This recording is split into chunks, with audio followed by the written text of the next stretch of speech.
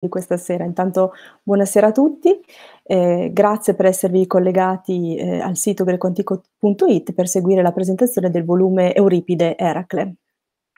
Mi limito a una breve introduzione per presentare i relatori, il moderatore Luciano Lanzi e i due autori, Gabriele Burzacchini e eh, Marco Ercoles. Eh, Luciano Lanzi è stato per molti anni docente di greco e latino nel triennio liceale oggi terza, quarta e quinta liceo classico, nel liceo Ariosto Spallanzani, già liceo classico statale Ludovico Ariosto di Reggio Emilia. Eh, Luciano Lanzi è stato docente molto apprezzato dagli allievi e molto stimato dai colleghi, autore di antologie e manuali per i licei. Eh, ma Luciano Lanzi è anche studioso che ha al suo attivo saggi e commenti scientifici. Tra tutti Ricordo l'edizione con commento delle discussioni di Tuscolo di Cicerone, curata assieme con uno dei due autori di questa sera, eh, ovvero Gabriele Burzacchini. Gabriele Burzacchini è stato docente ordinario di lingua e letteratura greca nell'Università di Parma, prima ancora straordinario nell'Università di Cagliari. La carriera precedente si è svolta invece nell'Università di Bologna. Gabriele Burzacchini è studioso di poesia greca arcaica, celebre un'antologia di lirici curata eh, con Enzo Degani, ma si occupa anche di tragedia e in generale di critica e commento eh, a testi in poesia. Marco Ercoles è professore associato nell'Università di Bologna, dopo essere stato per un triennio ricercatore a tempo determinato di tipo B. Si è occupato di poesia arcaica, in particolare di melica corale di Stesicoro, ed è su questo campo che ha iniziato e consolidato le sue competenze nel campo della metrica greca, una competenza che ora applica ad altri contesti, tra i quali, come nel caso di stasera, la tragedia. Io mi fermo qui, concludo questa breve prolusione col porgere i saluti della delegazione di Parma grecoantico.it dell'Associazione Italiana di Cultura Classica che ha patrocinato questa iniziativa. Collabora all'evento anche il Liceo Ariosto Spallanzani di Reggio Emilia. Ricordo che chi partecipa tramite YouTube può proporre le proprie considerazioni nei commenti. Eh, lascio la parola ai relatori. Buona serata.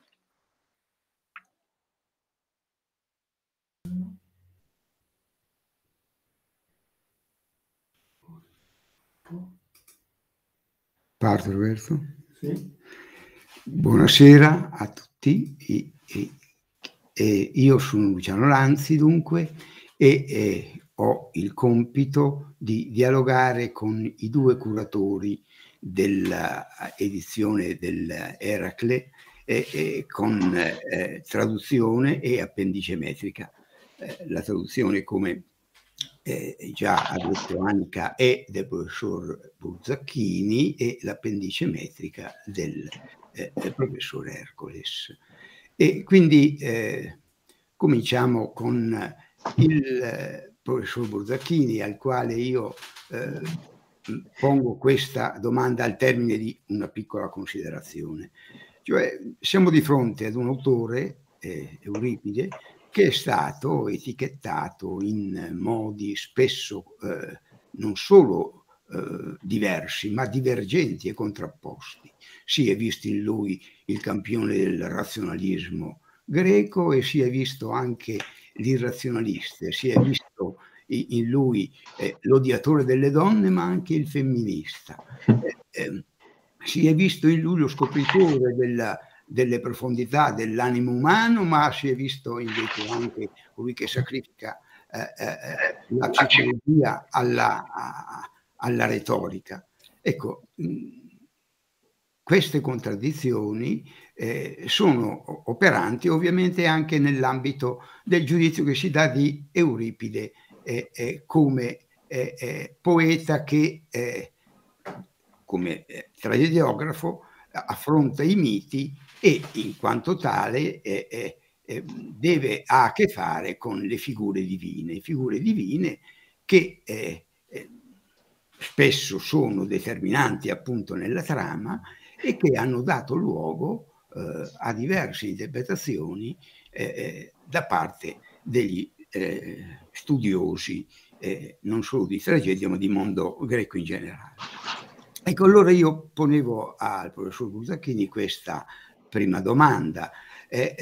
Il, L'Eracle eh, pone eh, problemi quanto all'interpretazione da darsi a, ad Euripide come eh, eh uomo eh, che eh, si pone di fronte a, al, al divino e lo sente, lo interpreta e se è così, quali sono i punti insomma, nei quali è più evidente quel che Euripide pensa e comunque rappresenta della uh, presenza del, uh, della divinità nell'ambito dell'operare umano. Ecco, questa era la prima domanda che io ponevo al professor Butacchini.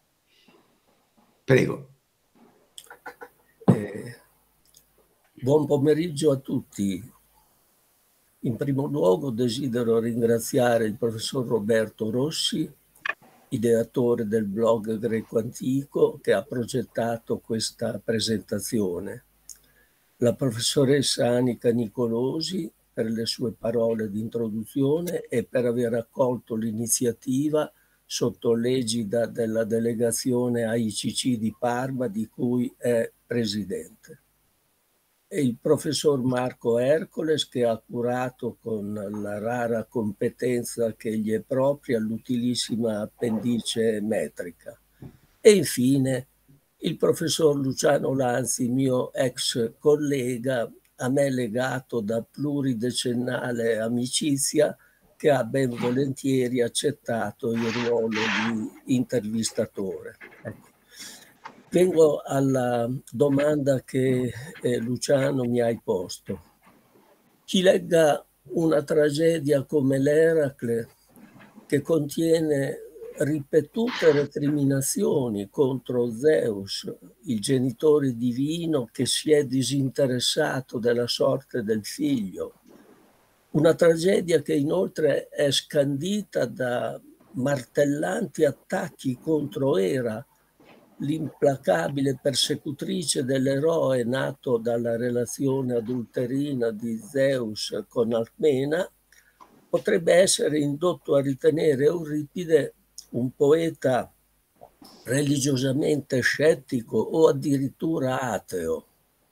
In realtà non è così. Contro l'idea di un presunto ateismo di Euripide ha scritto più volte una studiosa americana, Mary Lefkowitz, dapprima in un paio di articoli, uno del 1987, Was Euripides an Atheist? Era un ateo Euripide?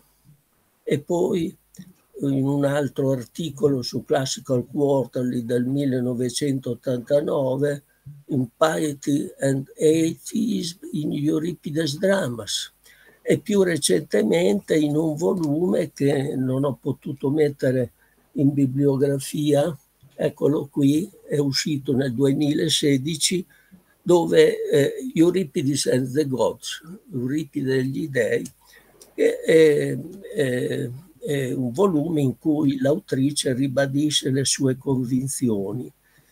Eh, la Lefkowitz sostiene che gli dei di Euripide sono in fondo gli stessi di Omero, di, di Eschilo, di Sofocle, ecco, con quei limiti e difetti che un Xenofane già nel VI secolo non aveva esitato a denunciare. Le accuse di irreligiosità ad Euripide hanno origine soprattutto, dice la Lefkowitz, dalle malignità dei comici, in particolare di Aristofane. Eh, accuse che ebbero certamente un'importanza, si pensi alla vicenda di Socrate. sappiamo anche che Euripide era certamente influenzato dalle teorie radicali di Anassagora e dei sofisti e inoltre che fu pure implicato in processi di empietà. Eh, il biografo satiro III secolo a.C. scrive di un processo di empietà intentatogli da Cleone. È una notizia che da taluni studiosi è messa in dubbio un altro eh, un altro processo d'impietà, secondo la testimonianza della retorica di Aristotele, eh, gli fu intentato da un tal Igienonte nel corso di una causa per antidosis. Eh, e infine abbiamo anche un papiro del terzo secolo d.C. che attesta un'esercitazione retorica sul tema di un processo di empietà contro Euripide per aver portato in scena alle Dionisie l'Eracle pazzo. Da tutto ciò si deduce che l'anticonformismo provocatorio del poeta dava fastidio, ma non c'è alcuna prova reale di un suo ateismo. Potrei sintetizzare la risposta al quesito che Luciano mi ha posto nel modo seguente. Euripide denuncia frequentemente in maniera anche aggressiva e dissacrante le contraddizioni e le storture del mito e della religione tradizionale, sottoponendole ad una severa critica razionalistica, ma ciò non significa un rifiuto totale e irreversibile della sfera del divino. Voglio sgombrare subito il campo da un possibile equivoco. A proposito di una tragedia come le Baccanti, qualcuno parlò anche di un Euripide convertito al dionisismo.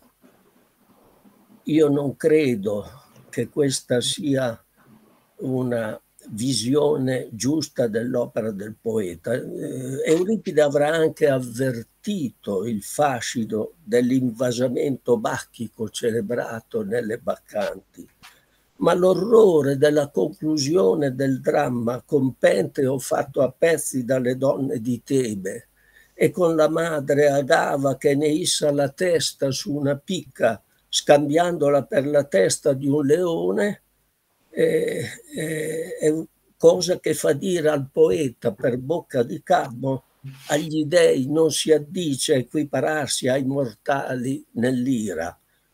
Nessuna conversione al dionisismo dunque, ma semmai la consapevolezza dei rischi di un abbandonarsi incondizionato a una fede irrazionalistica e trasgressiva. Piuttosto è da rilevare che in parecchie delle tragedie euripidee una conclusione in qualche modo positiva dell'intrico si deve al deus ex machina o comunque all'agire di una divinità. Questo succede nello stesso Eracle, quando dopo la strage perpetrata dalla sua famiglia, la dea Atena stordisce l'eroe impazzito lanciandogli contro un masso.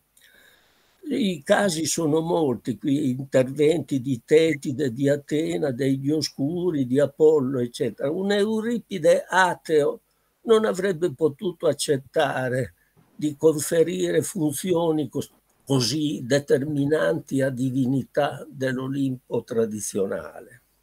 Soprattutto, e con questo concludo la mia risposta, eh, dobbiamo mettere in conto le parole dello stesso Eracle ai versi 1341-1346. Io però, per quanto riguarda gli dei, di amori non leciti non ritengo si compiacciano e che chiudano braccia in catene è cosa che giammai eh, cui giammai prestai fede né mai mi lascerò indurre a credere.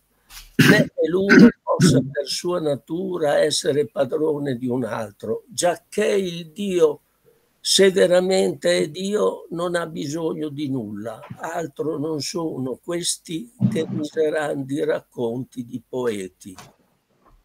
Questi versi possono apparire in contraddizione con l'impianto eh, di questa tragedia, ma la contraddizione è solo apparente, è un messaggio che Euripide vuole far pervenire al suo pubblico. Queste parole messe in bocca all'eroe travolto dalla sventura dimostrano il vero e ultimo sentire del poeta sugli dei, la polemica seppur aspra contro i miti, le leggende, le aberrazioni della religione tradizionale, tradisce alla fin fine il bisogno, se si vuole, la nostalgia di una fede depurata, quantomeno non inquinata da stolide superstizioni.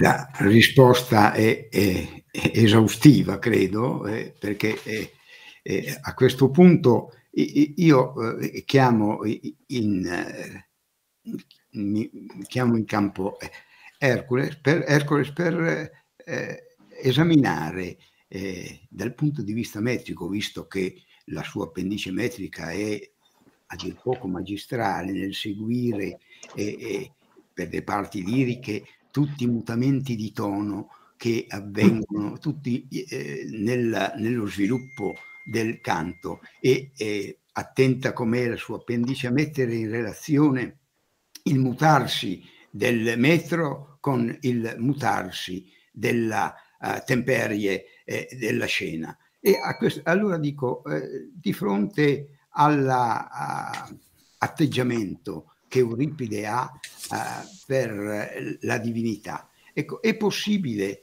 eh, vedere nei canti eh, dal punto di vista metrico una, eh, una ricerca di Euripide eh, di eh, riflettere nel metro il suo sentimento religioso anche nel suo sviluppo eh, nell'ambito di una scena o di un canto?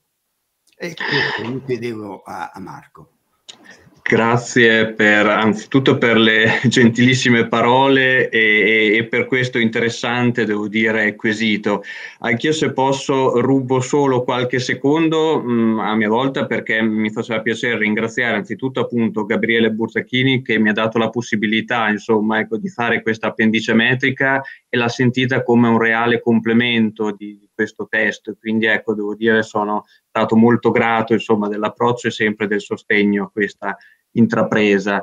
E poi ecco, devo dire, eh, ringrazio eh, appunto, anzitutto appunto eh, Anica Nicolosi che ci ha presentato Roberto Rossi e, e Luciano eh, Lanzi per l'appunto per eh, l'organizzazione di questa bella iniziativa. Dunque, arrivo subito al, al dunque. Eh, mi pare che mh, Euripide riesca effettivamente da bravo poeta, ma da bravo musicista poi, e compositore diremmo, ehm, proprio a trasmettere molto bene all'interno eh, della, appunto, della rappresentazione tragica anche questa attenzione proprio per l'aspetto divino nel momento in cui, ehm, per esempio, eh, entrano in scena Lissa ed Iride eh, qui ecco, se da un punto di vista musicale si possono cogliere delle scelte interessanti, mi sembra che eh, sia proprio in quel quarto episodio che l'attenzione eh, debba eh, insomma essere volta, perché lì eh, appena mh, Lissa si presenta, eh, si presenta con, eh, o meglio, appena le due di- divinità si presentano, Lissa ed Iride, ecco che molto presto i trimetri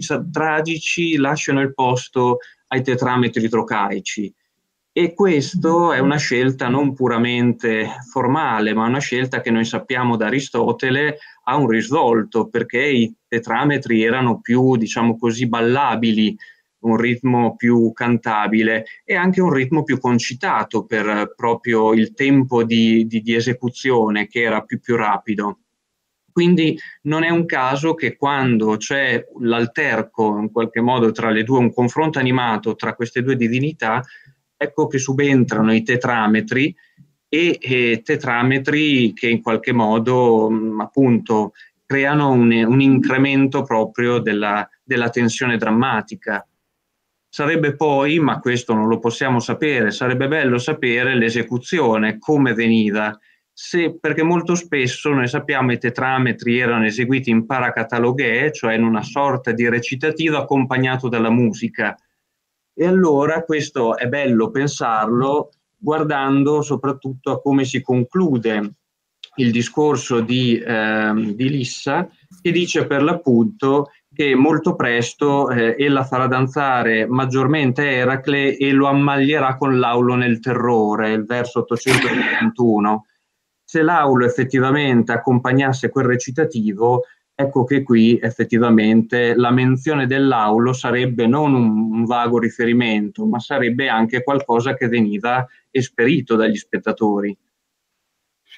Ecco, mi, mi, fermerei qui, ma veramente ecco, si capisce da pochi accenni nel testo e nella metrica la grandezza ecco, di un compositore come Euripide, eh, insomma, credo anche da, attraverso proprio questi espedienti. Sì, hai eh, de, del tutto eh, dato l'idea di quale sia la che eh, Euripide anche ha come metrico, ma soprattutto come musicista, come tu dicevi appunto. E ritorniamo allora a, a Gabriele Burzacchini, a cui io volevo porre eh, questo quesito, o quantomeno insomma, eh, invitarlo a, a, a, queste, a, qualche considerazione su questo fatto. Eh, noi leggiamo nella poetica che eh, Aristotele definisce a un certo punto eh, Euripide traigotatos ton poieton. Ora, al di là della discussione se ton poieton sia genitivo partitivo o se invece l'espressione equivalga a nient'altro che eh, eh, tragicotatos poietes, eh, rimane il fatto che eh, la definizione di, Uri, di, di, Aristotele evidenzia l'eccellenza di Euripide dunque come poeta tragico. Ora, è stato già osservato che eh, se noi chiedessimo eh, ma l'Elena di Euripide è una tragedia secondo quello che è la vulgata eh, secondo la quale si intende eh, eh, la tragedia, l'Elena non apparirebbe tale, ma sarebbe una domanda mal posta ad un, eh, ad, ad un contemporaneo di Euripide proprio perché la tragedia eh, per un contemporaneo di Euripide è nient'altro che un'interpretazione del mito eh, eh, che non necessariamente sfocia in eh, ciò che noi riteniamo tragico, eh, eh, soprattutto sulla base del fatto che riteniamo tragico ciò che non ha una soluzione e ciò che si traduce in una lacerazione che non è più possibile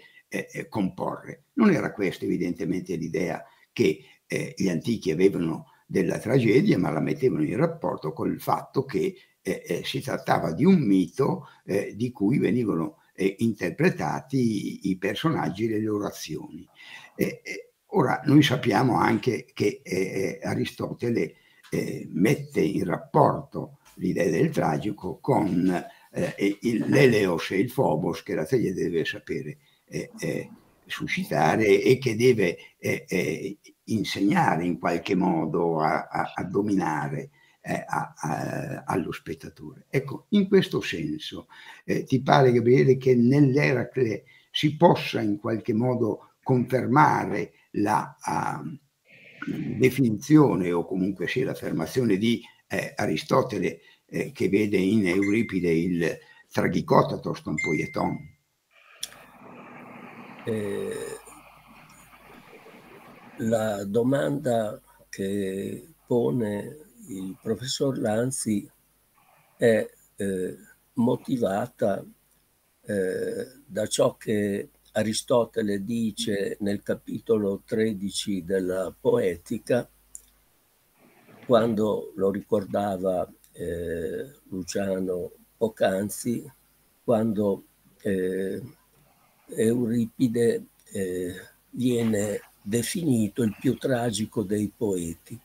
Poche righe più sopra, Aristotele osserva che eh, ci sono eh, coloro che preferiscono tragedie a doppio esito, un esito felice per i personaggi positivi, un esito infelice per quelli negativi e costoro rimproverano ad Euripide il fatto che la maggior parte dei suoi drammi eh, si chiude con un esito infausto. Eh, e però, insomma, Euripide, pur non esente da difetti di composizione eh, o economia, eh, appare chiaramente il più tragico dei poeti, tragicota tos che tom poieton fainetai. Io interpreto questa frase mm, in senso letterale, il più tragico dei poeti, quindi più tragico anche di Eschilo e di Sofocle. Bisogna dire che la musa di Euripide è molto varia, però se facciamo eh, riferimento al nostro Eracle, eh, per intendere la ragione di questo giudizio converrà rifarsi alla definizione di tragedia che Aristotele fornisce nel capitolo sesto della sua poetica. La, eh, è nota questa definizione, la tragedia è mimesi di un'azione seria e compiuta, eseguita da personaggi che agiscono e non raccontata, la quale mediante pietà e paura di Eleu Kai Phobu, ricordava Luciano prima l'Eleos e il Phobos, realizza la catarsi da tali passioni. Orbene, nell'Eracle, ecco, possiamo dire che questi elementi che Aristotele considera fondamentali per la sua concezione del tragico, l'Eleos e il Phobos, nel nostro dramma sono vistosamente presenti. Il Phobos è già palpabile all'inizio, di fronte alla brutalità minacciosa del tiranno Lico e raggiunge poi doppiamente il culmine, prima con la spaventosa apparizione di Iride e Lissa sul tetto del palazzo e infine con le manifestazioni sconvolgenti e truci della pazzia. E l'Eleos, l'Eleos è già in parte nelle tenere parole dell'eroe nei confronti della sposa e dei figlioli che minacciati si aggrappano a lui e lui promette di eh, trainarli come scialuppe eh, attaccate alla nave ammiraglia. Ma si avverte l'Eleos soprattutto nella conclusione della tragedia, col protagonista che suscita la compassione del vecchio padre umano anfitrione, la compassione dell'amico Teseo e la compassione infine del coro. Quindi Phobos ed Eleos sono eh, vistosamente presenti nell'Eracle e il giudizio di Aristotele eh, quindi si giustifica pienamente. Grazie, sì, eh, anche questa eh, risposta mi pare che apra eh, la possibilità di vedere eh, la tragedia, il senso del tragico, sia in senso strettamente aristotelico che, eh, come tu accennavi, al fatto che molte delle tragedie di Euripide si concludono con la uh, rovina del eh, protagonista. E, e quindi, mh, come tu hai detto, eh, si può pensare che Aristotele eh, nel, definire, eh, nel, definire, il protagonismo dei poeti Euripide pensi a ciò che lui ritiene essere fondamentale della tragedia, appunto il suscitare questo Eleo e questo Phobos.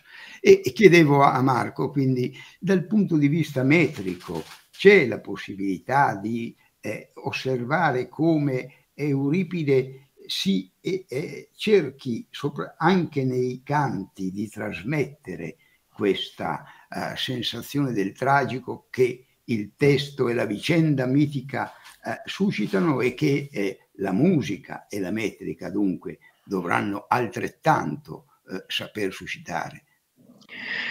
Devo dire sì che mi pare che effettivamente ci sia un corrispettivo anche dal punto di vista metrico e musicale, eh, pensando anzitutto eh, per l'appunto alla, eh, così, ehm, al fatto che il Phobos si materializza proprio eh, sulla scena da quel quarto episodio dove proprio il coro a parlare di Phobos eh, riguardo appunto all'apparizione improvvisa eh, di Lissa e di, eh, di Iride sul, sul, tetto del palazzo e quindi questa grande impressione, questo grande impatto era visivo e, e emotivo, era un impatto che poi anche doveva trasmettersi in qualche modo, veicolarsi, attraverso, essere veicolato attraverso la musica. E oltre mh, a quella scena in tetrametri di cui appunto prima si, si parlava, e mi sembra che una cosa interessante sia il fatto che proprio da quel quarto episodio in poi noi non troviamo più nessun canto che abbia responsione strofica.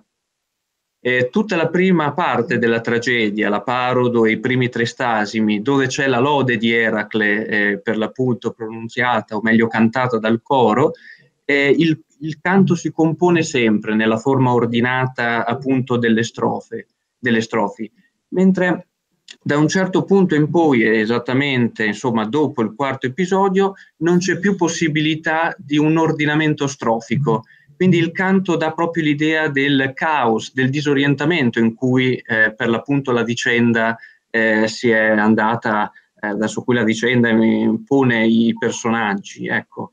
Ehm, quindi questo mi sembra un elemento interessante. E mh, mm, così per riprendere poi eh, ecco, la, la, definizione ehm, aristotelica, eh, direi che eh, se mh, mm, Euripide era il tragicotatos tra i poeti, ecco, tra i ritmi musicali noi sappiamo che quello tragicotatos è il docmio. E allora non, non sarà un caso che il docmio, che è assente direi, o quasi assente nella prima parte della tragedia, nella seconda diventi la colonna sonora. E quindi effettivamente eh, questo è un elemento veramente vistoso che ci fa capire come eh, la concitazione per l'appunto la facesse da padrone venisse proprio portata eh, di fronte sulla scena e all'orecchio del, del pubblico. Sì, grazie per questa risposta chiarissima e che illumina il rapporto strettissimo che c'è tra il senso del tragico e il modo con cui esso ha espressione attraverso la metrica e la tragedia. Una parte considerevole, mi rivolgo a Gabriele, eh, una parte considerevole del, della tua, eh, del tuo saggio introduttivo riguarda anche la collocazione cronologica di una tragedia per la quale non abbiamo una datazione certa, come invece abbiamo per eh, altre tragedie di Euripide dall'Alcesti in poi. Noi sappiamo che di Euripide non possediamo nulla eh, tra le tragedie conservate che riguardino i primi 16 anni della sua attività che eh, eh, si sviluppò a partire da tre anni dopo la presentazione della Orestea, eh, mentre quella di, di eh, Sofocle era cominciata dieci anni prima dell'Orestea. Sta di fatto che eh, per quel che riguarda l'Eracle non abbiamo notizie antiche che ci possano in qualche modo eh, aiutare e eh, si è ricorsi, e tu fai, eh, eh, illustri la questione, si è ricorsi eh, sia alla datazione attraverso, la, mh, mm, attraverso le eventuali allusioni a fatti storici, sia attraverso la, l'analisi metrica che eh, è resa possibile dal fatto che eh, è ormai un principio consolidato in sostanza che eh, il detrimetro giambico ammette eh, nell'Euripide eh, eh, più maturo un, un, numero sempre maggiore di soluzioni. quindi da un lato eh, il, il, testo se alluda o meno a determinati fatti storici, dall'altro l'osservazione è resa possibile dal numero abbastanza consistente di tragedie, se, se, se confrontato con le sette tragedie di eh, eh, Sofocle e le sei o sette tragedie eh, di Eschilo, eh, il numero abbastanza eh, elevato, dicevo, delle tragedie di Euripide rende possibile quantomeno il rendersi conto di questa progressione della soluzione dei, eh, dei trimetri. Ecco, eh, io chiedevo se appunto tu avevi maturato una tua idea pre- un po' più precisa, uh, anche se tu, come eh, eh, hai detto nella tua introduzione, pensi che la, la, la, datazione più probabile sia quella che va dal 416-415, insomma, eh, siamo in questi anni. Ecco, prego. Eh, grazie Luciano per questa domanda le ipotesi formulate dagli studiosi si possono raggruppare sostanzialmente sotto due posizioni, quella di coloro che pensano ad una cronologia alta, grosso modo tra il 426 e il 423, con una preferenza dominante per il 424, e quella di coloro che si schierano a favore di una datazione bassa, successiva quantomeno alla pace di Niccia del 421, ma più probabilmente fissabile al 416 o 414. Ecco, vorrei dire qualcosa di più preciso. I sostenitori della cronologia alta hanno accampato alcuni argomenti. La difesa dell'arco pronunciata da Anfitrione ai versi 188 e seguenti, ha fatto pensare un riferimento alla vittoria ateniese di Sfacteria del 425 conseguita grazie agli arcieri. Eh, il peana delle fanciulle di Delo ai versi 687 seguenti ha fatto pensare al ripristino del culto di Apollo nell'isola del 425 a.C. a stare a Tucidide. L'ospitalità offerta da Teseo ad Eracle sarebbe una risposta alla fondazione di Eraclea nella regione Etea da parte degli Spartani del 426. Ma eh, come ognuno vede, si tratta di motivazioni del tutto ipotetiche e tutt'altro che solide. Nel battibecco tra Iride e Lissa in tetrametri trocaici eh, si sono voluti cogliere elementi di arcaicità, ma verosimilmente abbiamo a che fare con un tratto volutamente arcaizzante, non arcaico. Ecco. L'elogio di Teseo ed Atene si collocherebbe secondo alcuni in una temperie post-periclea, ma si tratta di un dato che è riscontrabile anche in tragedie successive alla pace di Niccia, c'è nelle Troiane, c'è nell'Ifigenia tra i Tauri, eh, ad esempio. Insomma, io ritengo che ben più robuste siano le ragioni addotte dai fautori di una datazione bassa.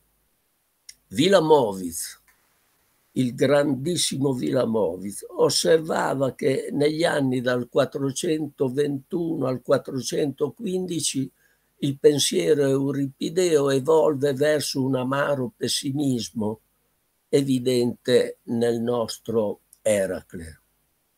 Eh, Guido Avezzù Guido Avezzù prende in considerazione anche lui gli anni dal 420 al 416 con una preferenza per il 416, richiamando la compresenza di Eracle e Teseo nel ciclo scultoreo del tempio di Efesto detto Teseion del 415 che testimonia la cooptazione del dorico Eracle nel contesto ateniese. Poi Vincenzo di Benedetto.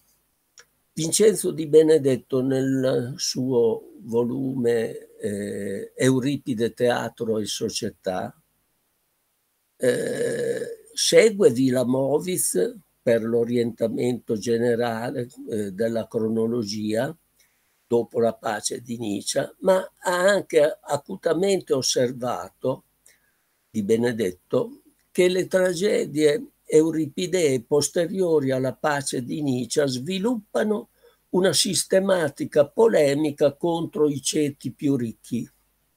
E nell'Eracle di Benedetto eh, cita la denuncia che il poeta per bocca del coro esterna ai versi 669-672. Ora invece non v'è alcun discrimine da parte degli dei chiaramente stabilito tra persone da bene o furfanti, ma nel suo volgersi un'esistenza quale che sia amplifica soltanto la ricchezza.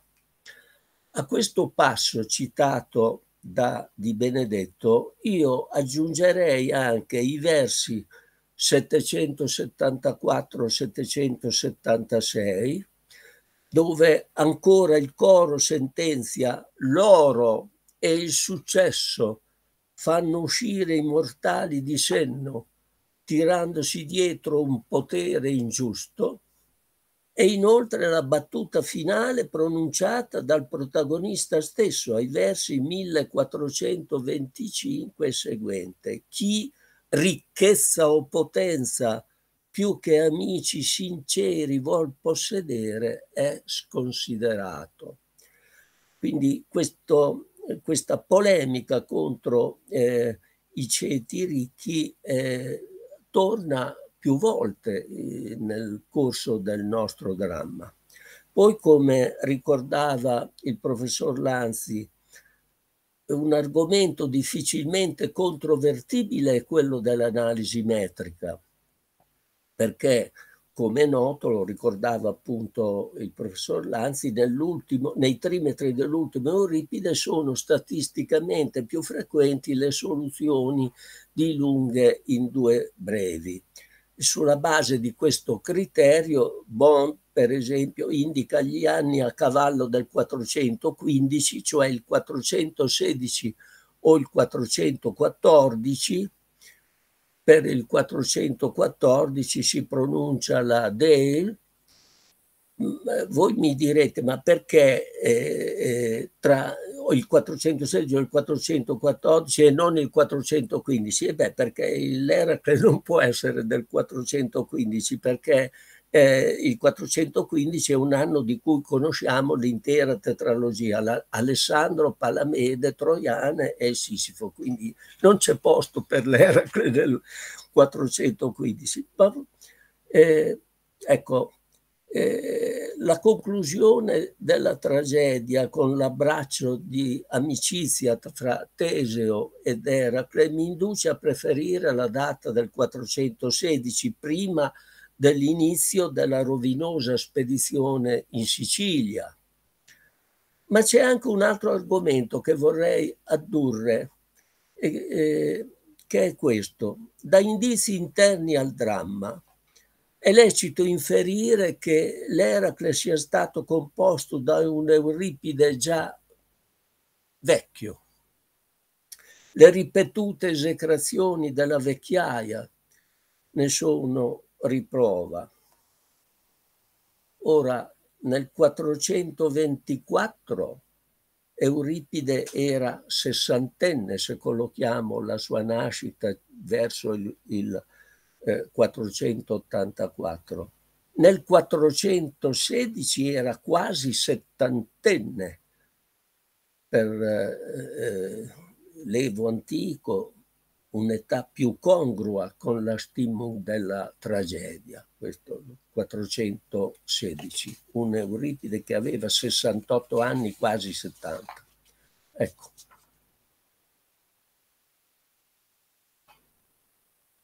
solito eh, tale da eh, fugare ogni possibile eh, dubbio sulle eh, ragioni che eh, ti hanno indotto a ritenere eh, come probabile appunto il 416. Ma io chiedevo a Marco qual è il valore euristico che ha effettivamente l'analisi metrica per cercare di fissare la datazione. Tu, eh, tu che hai studiato e studi questo eh, problema eh, eh e in qualche modo, eh, dato il numero delle tragedie che possediamo è possibile eh, ulteriormente precisare una cronologia stante il fatto che, insomma, rispetto alle tragedie effettivamente composte, quelle che possediamo sono sempre una percentuale abbastanza bassa. Sì, sì, eh, questo è diciamo un elemento sempre da tenere in considerazione per qualunque tipo di analisi. E, ecco, sì, nel caso di Euripide, effettivamente, come il professor Butrachini ricordava, eh, questo elemento in qualche modo di uno sviluppo progressivo, un elemento che appare piuttosto vistoso, ecco, laddove invece in Euripide in so- e in, in Eschilo in Sofocle non ravvisiamo nessuna tendenza in questo senso, al di là poi della scarsezza, della, della maggior scarsezza di materiale a disposizione. Però ecco, qua eh, non solo abbiamo appunto più materiale, più tragedie, ma quelle che sono databili con sicurezza ci mostrano effettivamente delle percentuali piuttosto significative.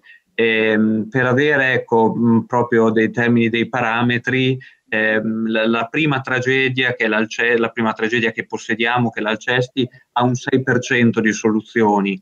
Quando arriviamo alle baccanti, quindi proprio nell'ultimissima produzione, si, cioè, insomma, la, la, la, percentuale si attesta al 37%. Quindi è proprio un, un, un'escursione notevole e in tutto questo è chiaro, ecco, va considerato che come ogni poeta, compositore, Euripide ha conosciuto periodi vari, quindi questa tendenza eh, sarà stata mh, mm, in qualche modo una tendenza chiaramente non ravvisabile in maniera scientifica in ogni tragedia. Ecco, questo è un altro elemento. Un artista si discosta talora per esigenze espressive, se se ne ha bisogno, da, da, da quella che magari è una, una tendenza che acquisisce. Qui mh, forse ecco, una cosa mh, diciamo interessante è il fatto che notavo che la stessa percentuale di soluzioni che noi troviamo nell'Eracle la troviamo nelle troiane, eh, che sono per l'appunto del 415. Ecco, questo elemento devo dire che effettivamente colpisce, eh, a partire ed è dalle troiane che noi abbiamo un incremento cospicuo in qualche modo, che il picco di questa, di questa eh, così parabola inizia veramente a, a, innalzarsi.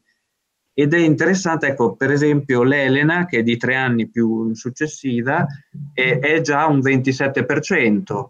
Quindi ecco, l'Eracle attestandoci sul 21, effettivamente una data intorno al 415, diciamo, sembrerebbe, ecco, quantomeno plausibile sulla base di questi elementi, poi va unito possono essere unite altre considerazioni che per esempio Bond fa come la presenza dei tetrametri tragici e, e trocaici che troviamo sempre a partire nelle tragedie sicuramente databili dalle troiane, quindi già due elementi che ci portano verso quello, quello stesso torno di tempo. E, e, ehm, ecco, forse come ultimo elemento, qui però non, non, non c'è alcuna datazione a, a piglio cronologico possibile, però ehm, ecco, c'è da notare sicuramente che nell'ultima fase, negli ultimi dieci anni ecco, della produzione euripidea, troviamo questi degli amebei, dei appunto canti di risposta tra il coro e uno o più attori, e, e sono mh, preferibilmente lirici, totalmente lirici. Ecco, mentre nella produzione precedente troviamo con una certa frequenza il, l'attore che risponde in versi recitati, non lirici. Ecco, qui invece se guardiamo c'è piuttosto una tendenza ad avere amebei lirici. Quindi ecco, questa serie di fattori ci sposta effettivamente, ci porta verso eh, credo ecco, a, a testarci intorno al 415 sembrerebbe in qualche modo una datazione verso cui anche questi indizi metrici possono convergere. Risposta, risposta circostanziata che non lascia spazio a, a, repliche, quindi io ti ringrazio per questa eh, chiara a, a definizione della questione. Eh, eh, di nuovo eh, il professor Buzzacchini eh, dovrebbe eh, rispondere a questa mia, mia perplessità. Eh, noi vediamo che eh, di fronte alla, a, al fenomeno eh, della sofistica, eh, Euripide si mostra totalmente eh, coinvolto nelle dispute che essa aveva promosso. Dispute che non erano ignote ovviamente anche a Sofocle per ovvi motivi di contemporaneità, ma eh, eh, dalle quali di fatto Sofocle eh, non fu eh, eh, coinvolto non solo nella stessa misura che Euripide, ma neppure nel modificare la sua iniziale e per sempre mantenuta fede nella presenza di una uh, divinità che non viene scalfita dai dubbi che eh, eh, i, i, i, i, sofisti eh, avevano ingenerato anche eh, in Euripide, eh, eh, di, insomma, Prodico e mm, Protagora hanno lasciato il segno su Euripide. Non so perché direi che proprio continua a credere nella, uh, uh, nel verificarsi di, quella, uh, di quegli eventi che eh, eh, la profezia indica e mentre noi sappiamo che Euripide segna chiaramente il suo totale rifiuto per la fede in, un, in eventi profetici che hanno nell'Elena, ad esempio, mostrato tutta la loro inconsistenza. Ecco, quindi c'è sicuramente una uh, differenza evidente tra uh, Sofocle e, e, Euripide. Se non altro non potremmo mai eh, eh, eh prestare a, a, a, ad Euripide le, le, parole finali delle Trachinie, insomma niente di tutto questo c'è che non sia Zeus. Eh, eh, questo significa che la fede di, di eh, Sofocle in ciò che la tradizione eh, eh, gli aveva consegnato eh, eh, continua ad essere eh, inalterata e non toccata dai dubbi sofistici. Ecco, ma il rapporto Euripide-Sofocle è nella tragedia in, che, di cui stiamo parlando reso a, a, abbastanza eh, motivato eh, dal fatto che anche Euripide eh, eh sente in, eh, eh, nella figura di Eracle l'attrazione di, di, dell'eroe annientato verso il suicidio e questo ovviamente ci porta a, a, alla, alla Iace. ecco, chiedevo in che, in che termini eh, tu collocheresti la, il rapporto Euripide-Sofocle sempre a partire ovviamente dal, dall'Eracle euripideo. Sì, eh, eh, ci sono tratti che avvicinano il teatro di Euripide a quello di Sofocle. Eh, ne dico solo uno, la maledizione che grava su Eracle senza sua colpa richiama quella di Edipo nell'Edipo Re. Però, eh, insomma, sono, penso, i motivi della follia e del suicidio che rappresentano forse il miglior test per mettere a fuoco sostanziali differenze fra i due tragici. Nella Iace la pazzia delirante indotta da Atena eh, nel protagonista, dopo l'affronto della mancata concessione delle armi di Achille che sono state assegnate a Odisseo, La pazzia di Aiace si scatena contro il bestiame scambiato per gli atridi e i soldati greci e quando Aiace rientra in sé, ritenendosi esposto al ridicolo e allo scherno, decide di togliersi la vita e attua il suo proposito gettandosi sulla spada. Lo statuto eroico di Aiace, figlio di una cultura di vergogna lo rendeva incapace di affrontare la riprovazione sociale per le gesta tragicamente ridicole compiute nel delirio della forsennatezza ed era pertanto scontato che egli dovesse optare per l'autodistruzione. Sto citando dalla pagina 23 della nostra introduzione. Completamente diversa è la situazione nell'Eracle di Euripide. La follia di Eracle, provocatagli da Lissa per volere di Era, è ancora più tragica di quella di Aiace, dal momento che prende a bersaglio non animali, ma la stessa moglie e i figli del protagonista appena prima salvati dalle minacce di morte da parte del tiranno Lico.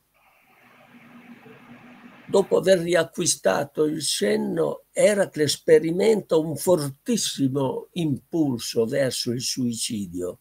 Ai versi 1146 e seguenti.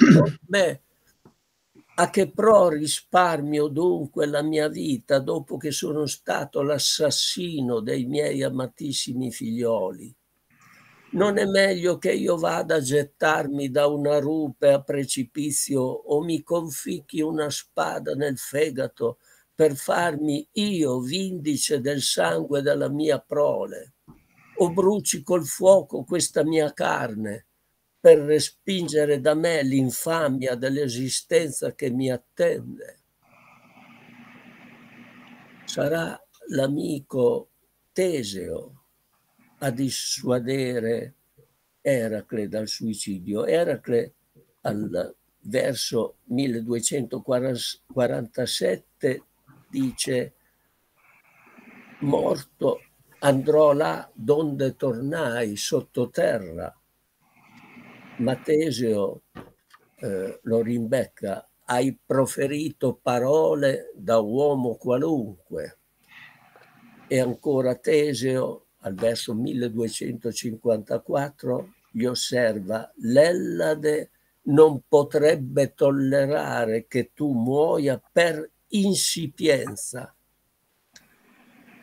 Insomma, in questo Eracle schiantato dalla sventura, il pubblico avrà percepito una dimensione non più eroica, ma decisamente più umana. La scelta ultima sarà quella di non cedere ad una tentazione suicida dettata da pusillanimità, ma pur immerso nei guai, versi 1347 e seguenti, mi ritrovai a riflettere sul rischio di dover rispondere di viltà qualora io lasci la luce, giacché chi alle sventure non sa resistere neppure saprebbe far fronte al dardo di un nemico. Continuerò ad affrontare la vita, mi recherò nella città che è tua e infinita gratitudine ti serbo per i tuoi doni. La città di Teseo è Atene, pronta ad accogliere il dorico Eracle, un messaggio che non può non avere implicazioni politiche dopo la pace di Nicea e probabilmente prima della spedizione in Sicilia. Sì, sì. Grazie di nuovo per questa uh, precisa uh, risposta e, e, e circostanziata. Di nuovo uh, volevo porre sempre in questo, restando il rapporto eh, eh, Euripide e eh, dal punto di vista metrico, Marco, tu hai rilevato spesso nella tua analisi i punti nei quali Euripide innova rispetto a Sofocle i punti nei quali converge e i punti nei quali diverge. Ecco, vorrei che eh, se, se puoi tu eh, illustrassi sia i punti di eh, convergenza che quelli eh, ovviamente più rappresentativi di divergenza dal punto di vista metrico, della tessitura metrica della certo. Allora, direi che eh, sì, un, un, punto di eh, convergenza che mi sembra molto interessante è, è così, un punto che è, è, all'intersezione tra scelte musicali e scelte drammaturgiche, e cioè quel punto proprio, quello snodo tra il terzo stasimo e il quarto episodio in cui ad un certo momento il coro esulta eh, danzando, dandosi ad una gioia eh, inizia proprio, se non sbaglio, con indicazioni appunto eh, horoi horoi all'inizio, il terzo stasimo, e quindi c'è proprio questa eh, indicazione di danza eh, iniziale, c'è un, poi un, tutta l'atmosfera che ehm, in qualche modo viene eh, così caratterizzato dalle parole, un'atmosfera di gioia, il ritmo è anche per lo più eolico, quindi sembrerebbe in qualche modo un ritmo che può anche tra, tra le tante eh, cose veicolare bene questa atmosfera ecco, così di, di, di, di, gioia e di felicità perché per l'appunto il, il, tiranno Lico è morto, è stato ucciso da Eracle, tutto sembra andare per il meglio, ma ecco che con una tecnica che eh, appare proprio sofoclea, eh, subito dopo avviene invece eh, il rovesciamento appunto della sorte, una metabolà quanto mai improvvisa e ci immaginiamo proprio i coreuti che a un certo punto si bloccano e per l'appunto recitano queste parole che, che aprono il quarto episodio eh, che sono esclamazioni ea ea e poi ecco una delle prime parole proprio Phobos verso 816 eh, siamo forse tornati allo, stato, allo stesso accesso di terrore vecchi? Che cos'è quell'apparizione che vedo sopra il palazzo? Ecco, questo eh, è, ricorda quei cosiddetti stasimi eporchematici, quelli che ormai siamo abituati per consolidata tradizione a chiamare stasimi porchematici di Sofocle, che in qualche modo ecco, appaiono un po' come una sua cifra, eh, tanto più che li utilizza in più di una, di una tragedia. E, e, tra le varie, però, ecco, tra le varie tragedie c'è proprio, ci sono le trachigne, ecco, quindi anche questa consonanza è interessante eh, nelle trachigne è anticipato diciamo, questa, al secondo stasimo dove per l'appunto il coro festeggia dopo che per l'appunto eh, Deianira ha messo in atto il suo piano e tutto sembra propendere per il meglio, ma subito dopo il canto del coro ecco che la stessa Deianira ha i suoi eh, ripensamenti e capisce che in realtà quel che ha fatto porterà alla rovina eh, dello sposo e non certo alla, così, a, a una riconquista. Questo ecco, mi sembra effettivamente un elemento molto, molto interessante.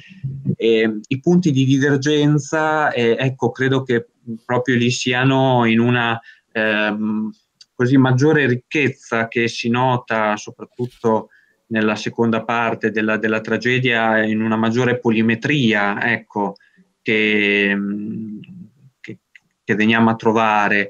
E, e Ecco, e poi nell'Eracle notiamo, per esempio, quello che la Deila ha ben osservato, una mescolanza, una miscela tipicamente euripidea, eh, per cui i dogmi si mescolano ai giambi, ma poi anche agli anapesti, ai cretici, e c'è per l'appunto una miscela che ritroviamo soprattutto in, in Euripide nell'ultima parte ecco, di Euripide. Quindi ecco, questo può essere un elemento che, che si può menzionare ecco, di, di distacco. Bene, eh, credo che, che eh, tu abbia eh, illustrato entrambe eh, eh, i corni, eh, e cioè la, convergenza e la divergenza in modo inequivocabile. Ci avviamo verso la conclusione, volevo porre un'ultima domanda, sempre conservando questa alternanza e quindi mi rivolgo di nuovo al professor Bruzacchini. Eh, eh, a, cui eh, chiederei insomma di illuminare la, uh, quel, il tema della umanizzazione dell'eroe eh, che eh, Euripide conduce eh, nel finale soprattutto appunto della, della, sua tragedia. Umanizzazione che va ovviamente eh, d'accordo con il fatto che eh, Euripide si avvicina sempre di più ad, a, a, a, ad una dimensione eh, che dal, da quella eroica passa a quella genericamente umana, secondo una tendenza che già gli antichi avevano notato, per cui eh, eh, si nota in Euripide una sorta di precursore anche ovviamente della temperie, della commedia nuova, del, della commedia Menandrea. Ma qui rimaniamo invece alla umanizzazione dell'eroe, cioè il rapporto che eh, c'è tra la concezione che tu già prima hai illuminato eh, eh, sofoclea dell'eroe per passare invece all'eroe uomo che è, è tutto consegnato alla sua precarietà e soprattutto alla, eh, a, all'avvertenza quanto mai acuta eh, del dolore e della sconfitta.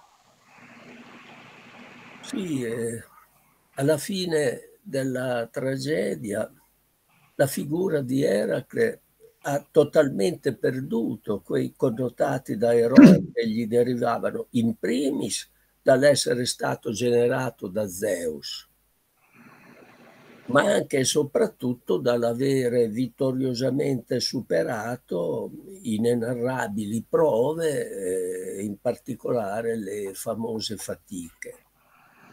Il primo punto, cioè il fatto di essere stato generato da Zeus, è tagliato fuori dal disconoscimento della paternità divina, dal momento che Zeus si è disinteressato del figlio, il quale dichiara pertanto di considerare suo padre non Zeus ma Anfitrione ai versi 1263-1265. Zeus chiunque sia questo Zeus, mi generò nemico ad Era. Poi si rivolge ad Anfitrione e, e aggiunge, tu però non ti adontare, vecchio, giacché te in luogo di Zeus io ritengo mio padre. Ecco, su, sull'importanza di questo punto ha scritto eh, parole eh, eh, importanti e illuminanti. Maria Serena Mirto nella sua edizione Bur del, dell'Eracle con un'ampia introduzione che si intitola proprio La scelta di Eracle, la scelta del padre umano in luogo del padre divino. E quanto alla gloria conquistata con le imprese ampiamente celebrata dal coro nel primo stasimo, vale la pena di rilevare che Euripide innovando, Euripide amava innovare, colloca le celebri fatiche prima della follia assassina, non dopo come è nel resto della tradizione, cosicché l'impatto della strage dei familiari sul pubblico sembra vanificare e annullare ogni precedente grandezza. Non più eroe, Eracle è ridotto a uomo, un uomo distrutto dopo aver perpetrato il più odioso e atroce dei delitti. Si salva solo il valore dell'amicizia testimoniato sia dalla gratitudine di Teseo per essere stato riportato su dall'Ade proprio da Eracle, sia dalla sua generosa offerta di ospitare Eracle ad Atene, un messaggio fortemente politico quest'ultimo, verosimilmente precedente alla ripresa della guerra con la spedizione in Sicilia, come dicevamo prima. La città di Atene accoglie e onora l'ex eroe dorico che esce di scena trainato dal suo protettore come scialuppa a rimorchio della nave maestra. Torna quell'immagine che all'inizio era eh, applicata ai figlioli che si aggrappavano alle vesti del padre tornato su dall'Ade, là era eh, Eracle la nave maestra, qui è Teseo la nave maestra ed è Eracle ridotto a scialuppa. Vorrei aggiungere per chiudere una considerazione. Paradossalmente, proprio la caduta a precipizio del prestigio dell'eroe e il suo abbassamento al livello di un semplice uomo e sono elementi che per noi costituiscono il maggiore fulcro di interesse di questa tragedia. Proprio questo ha probabilmente contribuito a determinare la relativamente scarsa fortuna che il dramma rispetto ad altri ha riscosso nel tempo dall'età ellenistica sino all'età moderna. Eh, come ho scritto nella chiusa del saggio introduttivo, bisogna mettere in conto da un lato una certa riluttanza a riproporre l'immagine frustrante dell'eroe demitizzato, annichilito dalla sindrome psicotica, ridotto ad amaro emblema della precarietà dell'umana fortuna. Insomma, da sempre il pubblico preferisce vedere eroi che restino eroi, non che precipitino nel baratro. Ecco. Dall'altro anche una diffusa e pervicace refrattarietà di fronte alla dilacerante forza d'urto di contenuti ideologici decisamente anticonformistici e talora più che mai dissacranti, perché come ricordava il professor Lanzi prima, sì, anche in Sofocle c'è l'uomo schiantato, eccetera, l'eroe schiantato, eh, ma eh, non si mette in discussione l'apparato divino.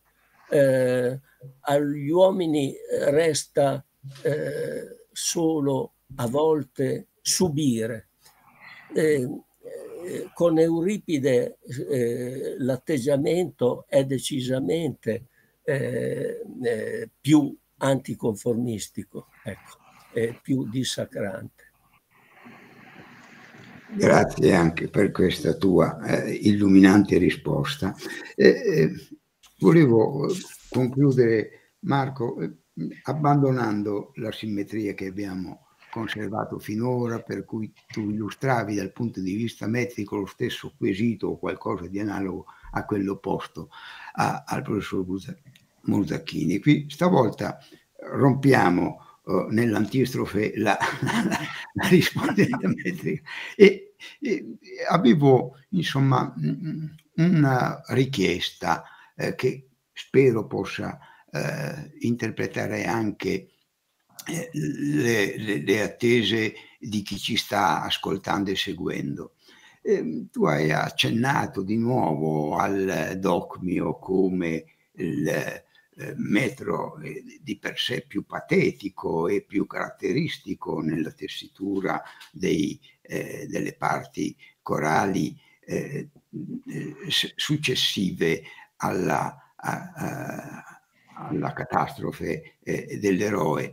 E, e, però per me il discorso è sempre stato un pochino teorico, nel senso che tu mi fai vedere com'è il doppio, mi fai vedere la successione, ma non riesco, non, essendo premetto ignorantissimo di metrica, a capire come esso, come il doppio possa tradursi in eh, un ritmo che sottolinea il pathos. Ecco, se tu potessi, se credi, eh, recitare metricamente una parte in dogmi, io eh, eh, te ne sarei grato e spero che eh, possano eh, essere anche gli ascoltatori nostri interessati a questo, se puoi, se credi.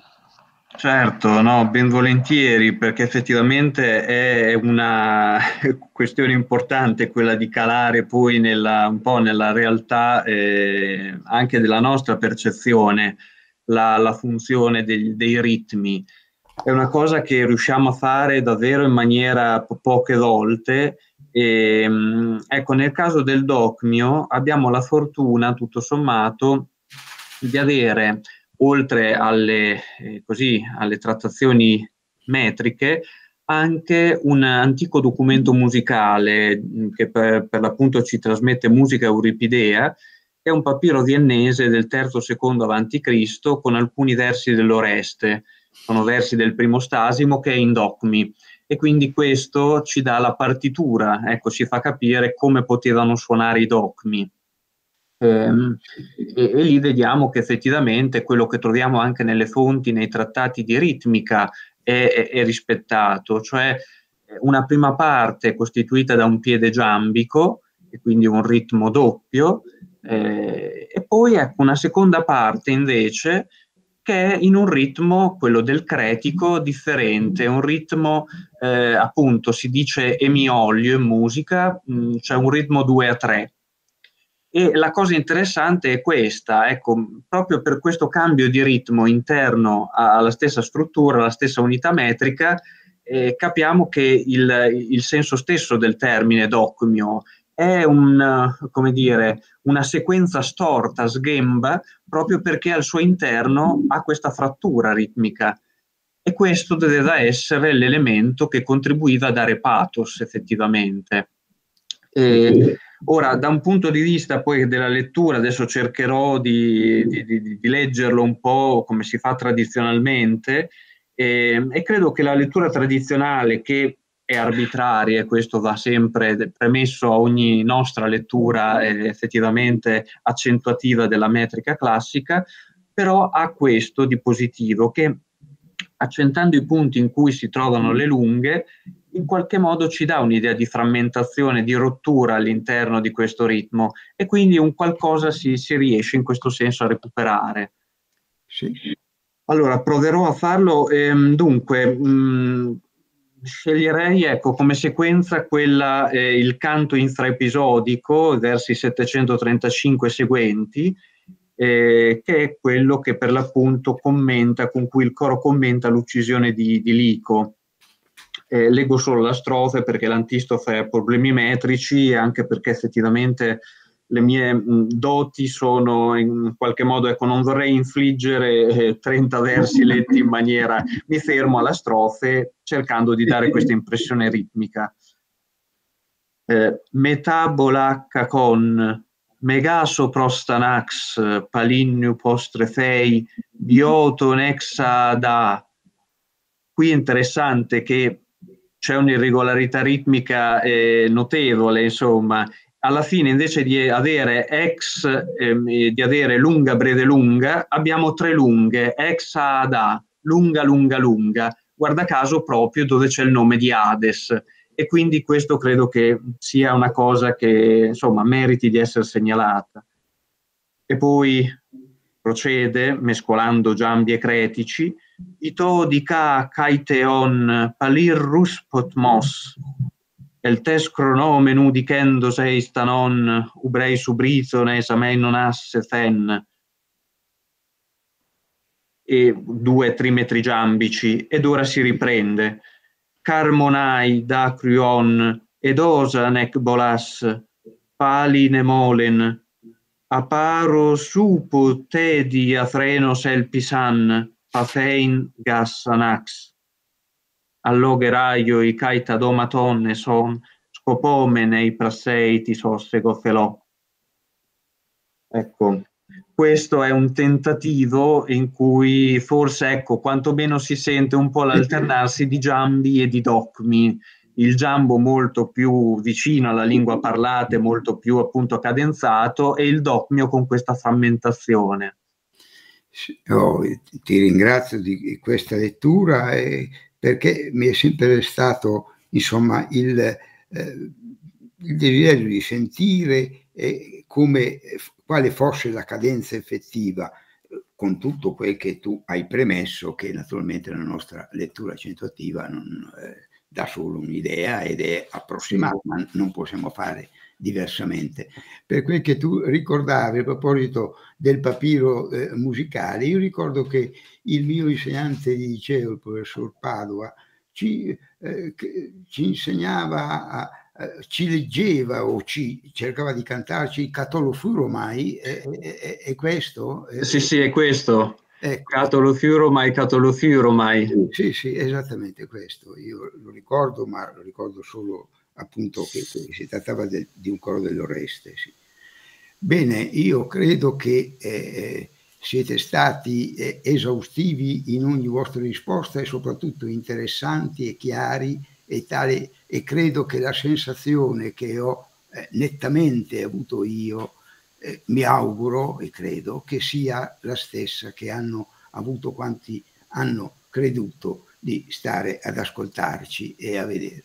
Mi, mi pare che eh, non si poteva eh, chiarire meglio quel che riguarda una tragedia che eh, Gabriele definisce appunto strabiliante e, e che, di cui voi avete dato eh, eh, nel modo eh, che meglio non si potrebbe l'idea viva e soprattutto documentata e, e, e, come tale, quindi del tutto eh, da apprezzare da parte di chi ascolta e, e, e da ritenersi quasi, insomma, io credo che se non abbiamo avuto richieste perché è stata tale la vostra, che, la vostra precisione che non ha lasciato adito a, a incertezze e dubbi. E, e, quindi io ringrazio eh, proprio di cuore per eh, quel che eh, avete fatto per la, la italiana di cultura classica perché è secondo me questa una pagina molto molto positiva eh, per la eh, eh, non dico celebrazione, dico per la diffusione della conoscenza della cultura greca, in particolare eh, della tragedia. Eh, io ringrazio di nuovo eh, gli amici e spero che altrettanto positiva, senza dubbio, sia la impressione che ne hanno ricevuto i nostri gentili eh, ascoltatori. Grazie. Grazie, grazie, grazie mille. Grazie. Grazie a tutti, grazie a tutti voi.